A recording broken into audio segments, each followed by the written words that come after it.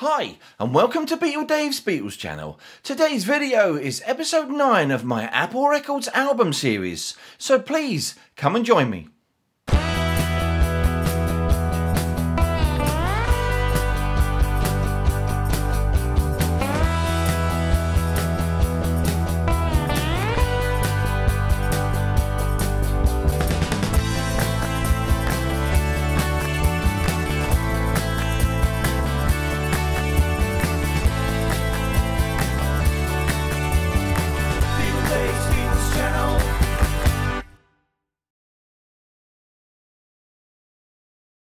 So hello and a wonderfully warm welcome again today to Beatle Dave's Beatles channel. Hope I find all you wonderful Beatles people doing really well out there and thank you so much for joining me again today. Well the subject for today's showing is episode 9 of my Apple Records album series and of course it's the Doris Troy LP. And actually it was while she was working as a backing singer with Billy Preston that George Harrison actually offered her a contract, although sadly she only recorded one album for Apple Records. So in this series then, I've decided to show each album in release date order, as well as showing any additional USA or reissue pressings, and of course there's going to be some 8 tracks along the way as well. But obviously I won't be showing any solo Beatles albums, just the other artists that were signed to the Apple Records label. Okay then, so right now it's time for something a little bit different. It's... Yeah! So yes, welcome to Ask Beatle Dave. We'll be answering your questions that you have about anything Beatles related. Maybe about something that I've shown or haven't shown so far. Maybe something to do with the guys' solo careers. Just about anything that you want to ask me and I'll endeavour to answer it right here. So today's question then is from Gerard McMullen. Hiya Gerard, hope you're well my friend. And he asks, Beatle Dave, in your opinion, should you leave the original Shrink On an album or remove and place into a new plastic sleeve? Well, my own personal views are that if you've got sealed albums from the 1960s and 70s, which are more likely going to be from the USA, they're going to be worth more if actually if you keep them sealed, and of course you should have breathe holes in them anyway in the shrink, so they should be fine. So as regards to new and more recent vinyl, I always remove the shrink and put them into a new heavyweight plastic sleeve. But the, you know, the shrink in more recent vinyl doesn't appear to have breathe holes in, but even vinyl has to breathe, and if it's not been stored correctly, it's more likely to sweat and even suffer with mould, and we certainly don't want that as record collectors. So Gerard, I hope that answers that question for you. And guys, if you want to contribute to Ask Beatle Dave, just send me a question in the comments and I'll include it in a future episode. It's that simple. So come on guys, please please me by getting involved and ask me some super questions. Okay now, so moving on, it's time for... So yes, it's on to them fabulous old shout-outs. And it's a great big Beatle Dave hello to Philippe Butenmuller Torhausen, Fernando Jaso, Mike Roberts, Daniel Costello, Hendrik Franson, Olap Rozek, Sean D67 and Charlie Maguire. So that's a big hi to you guys from yours truly, Beatle Dave. So on to the main event then today, and it's episode 9 of my Apple Records album series and the Doris Troy LP. So please, come and join me.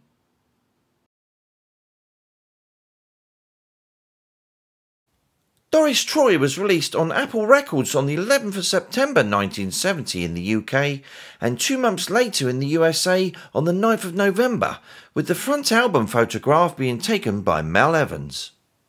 After an international hit of the song Just One Look in 1963, she continued to look to Britain to further her career and finally settled in London in 1969 and had also produced hits for the Hollies and the Small Faces.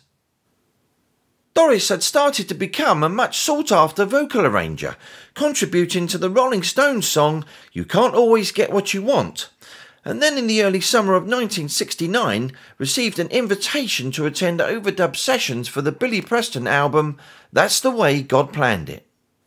Upon meeting Billy Preston's producer, George Harrison, Troy was surprised to learn that he was a big fan of her work, and following the sessions, Harrison offered her a recording contract with Apple Records.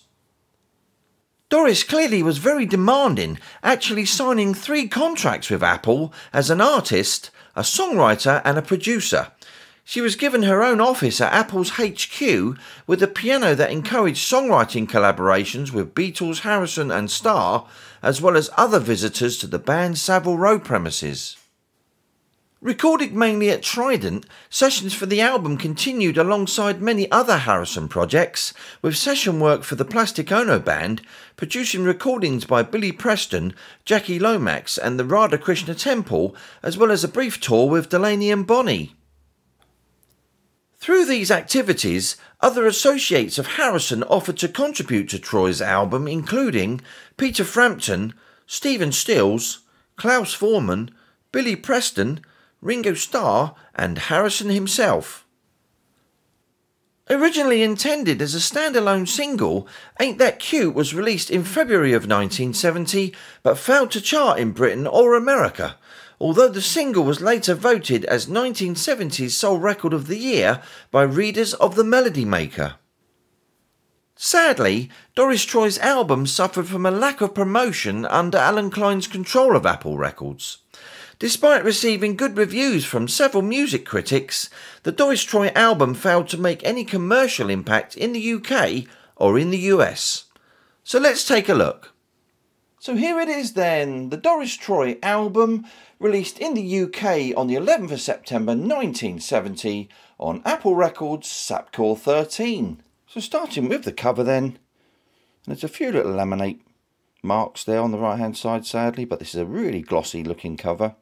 Got Doris Troy there at the top with a great picture of Doris by Mal Evans. And you had a lot of people involved in the making of this album, obviously including George, Ringo, Klaus Voormann, Billy Preston, Peter Frampton, Steve Stills, Eric Clapton, Delaney and Bonnie, and Leon Russell. So there's a lot of names on this album, but it's uh, you know I really like this album. It's really great, really soulful, quite funky. Let's flip that over. Of course, there's a little message there at the top there. Thank you all from Doris or Love Doris there, top left. And then we've got all the tracks there. You've got Ain't That Cute, which obviously was one of the 45s, which was written by George and obviously Doris Troy. So the second track is Special Care, which was written by Steve Stills. And then you've got Give Me Back My Dynamite, written by Harrison and Doris Troy. And then, of course, you've got You Tore Me Up Inside, which is written by Doris and a guy called Shinnery. Games People Play, which is written by Joe South, of course. So continuing then with Gonna Get My Baby Back, written by George, Ringo, Doris Troy and Steve Stills. And then I've Got To Be Strong, written by Jackie Lomax and Doris Troy. So on side two then you've got a track called Hurry which was written by Doris Troy. So Far which was written by Klaus Voormann and Doris Troy. Exactly Like You written by McHugh and Fields. With the next track You Give Me Joy Joy written by Doris Troy, George Harrison, Ringo Starr and Steve Stills.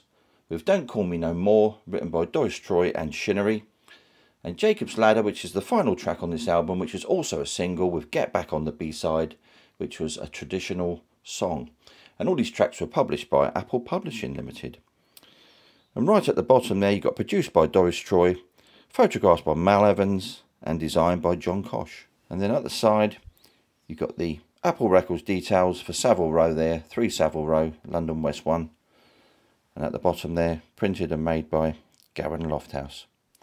Let's take a look at that spine as well then. Very thin spine, this one.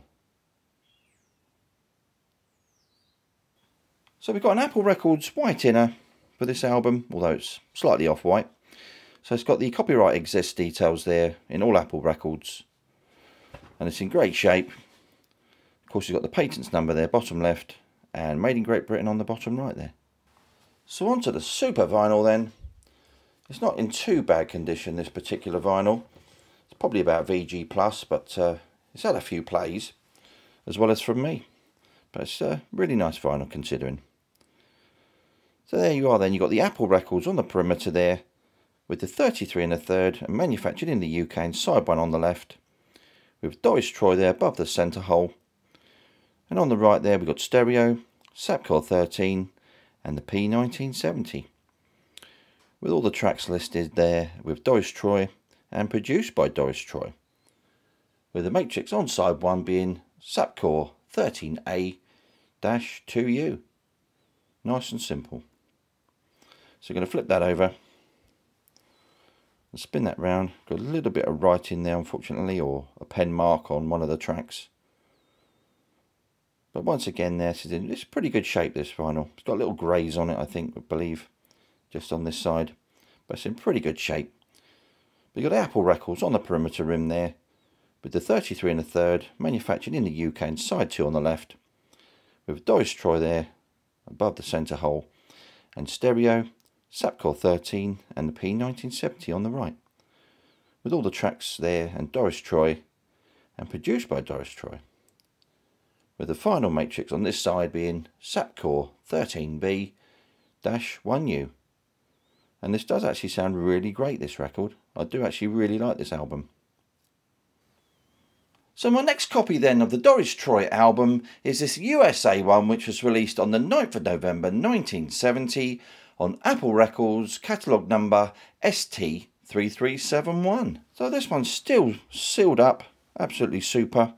Got breathe holes on it, so it's perfectly safe when it's got breathe holes. Got that picture of Doris again with more of a purple sort of tinge and a purple border with obviously Doris Troy at the top there. Obviously it's slightly different than the UK one because it's more blue actually the UK one around the border and obviously this has got more of a purple tinge. Let's flip that over you got that message from Doris, of course, there, once again, with the tracks side 1 and side 2, produced by Doris Troy, photographs by Mal Evans, and designed by John Kosh, with that fabulously green Granny Smith there, and of course you got the Apple Records Inc. 1700 Broadway address in America, with Apple and the catalogue number right at the bottom, ST3371. Let's take a look at that spine then.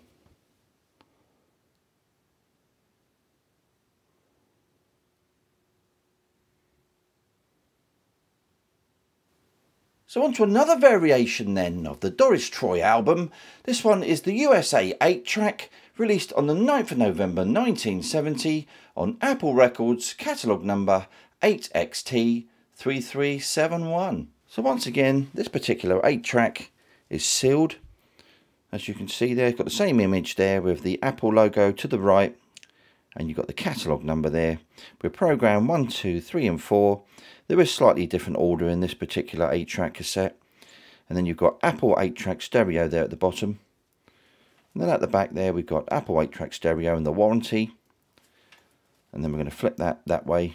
And you've got Apple 8-track stereo again. And finally at the bottom there you've got Doris Troy and the catalogue number. Really superb.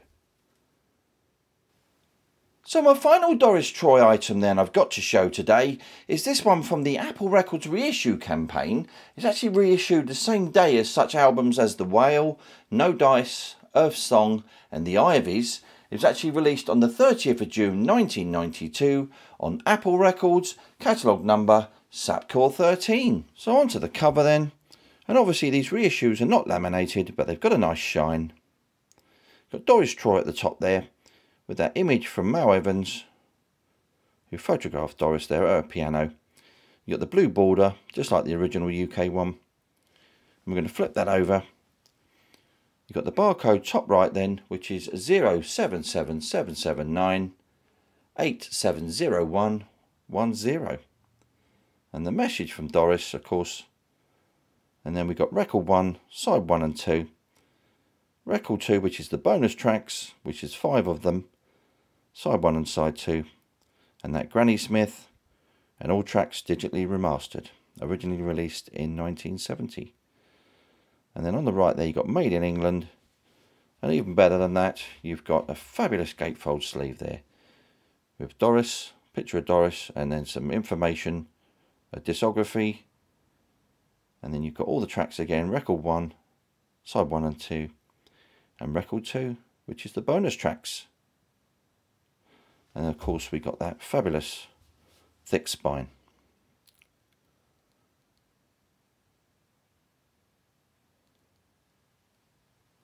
So the inner sleeve then is a nice poly lined inner one, really nice. So onto the vinyl then. Sadly these are still quite thin, all these reissue Apple reissues are really quite thin. But you got some really great labels on these, they look really fabulous and this is absolutely mint condition. You've got the 33 and a third on the left there with manufactured in the UK, side 1 and the digitally remastered details by Ron Furmanek. And of course you've got Doris Troy in the middle there and produced by Doris Troy. And on the right there you've got stereo with Sapcor 13 and all the copyright details there with all the tracks at the bottom. And the matrix on this side is Sapcor 13 1A dash 1 dash 1 dash 1.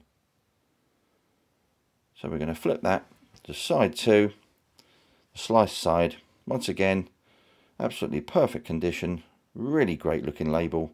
They certainly got better as they went along with this campaign. The labels got much better. Of course, on the left there again, you've got the 33 and a third with the manufactured in the UK and side 2 with all tracks digitally remastered by Ron Furmanek and Doris Troy there, produced by Doris Troy and stereo Sapcor 13 with all the copyright details and all the tracks listed at the bottom. And then on side 2 the matrix is Sapcor 13 1B-1-1-1 and this sounds absolutely fantastic. Played this one the other day and it sounded really good. So the second polyline dinner, exactly the same as the first, but in great shape as well. So the final vinyl then, this is the bonus vinyl for this LP. These are getting incredibly rare to find these reissue albums, really are. And you've got three tracks on this side, which are All That I've Got, Get Back, and Dearest Darling, of course this actually runs at 45 RPM. You've got the manufactured in the UK on the left there with side 1 and all tracks digitally remastered by Ron Furmanek. With Doris Troy, produced by Doris Troy. Then on the right there you've got stereo and Sapcor 13 with the three tracks listed and Doris Troy at the bottom.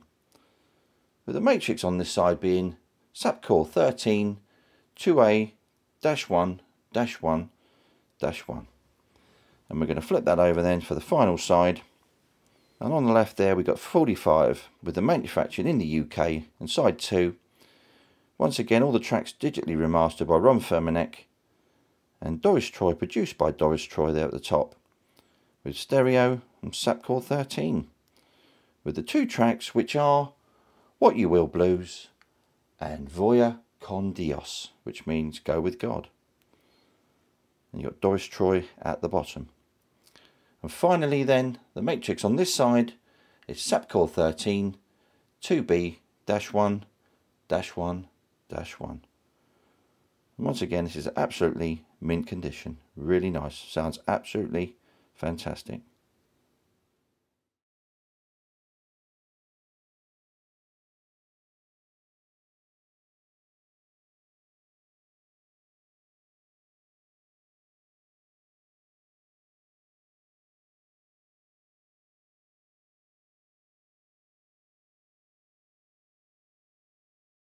So thank you all for joining me today guys and tuning in. And I really hope you've enjoyed seeing all those fabulous Doris Troy LPs that I've got. And don't forget I appreciate any comments or communication that I get from any of you Beatle people. And I'll always come back to you just as soon as I can. So the next Apple Records album series episode will be back again next month with Billy Preston's second and final Apple album Encouraging Words, which was released on the same day as the Doris Troy album on both sides of the Atlantic. So next week then is my final video of this year and it's going to be the Solo Years episode 5 and it's the John Lennon Plastic Ono Band album which was obviously John's first proper solo album. So make sure you're here next week, same Beatles time, same Beatles channel. So anyway as always, if you enjoy what I'm doing, why not give us a like, subscribe and hit that notification bell so that you don't miss out on any future videos. This is Beatle Dave signing off.